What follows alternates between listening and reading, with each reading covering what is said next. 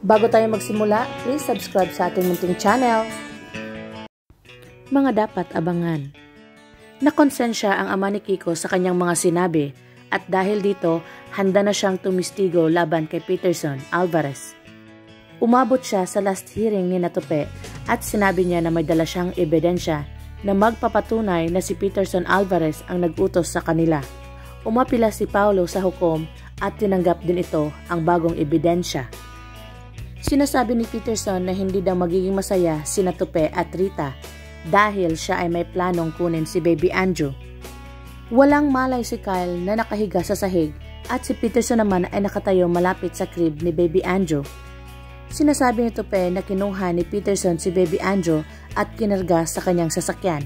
Dahil sa pag-iyak ni Baby Andrew, hindi na malaya ni Peterson na may makakasalubong siyang malaking truck. Nasa likod si Narita at Tupe at humahabol kay Peterson. At kitang-kita nila na mababangga si Peterson sa isang malaking truck. Napasigaw si Tupe at si Rita ng Peterson. Ito na kaya ang wakas na magwawakas din ng kanilang buhay. Thank you for watching mga kabantahera. Please leave your comment para ating pag-usapan.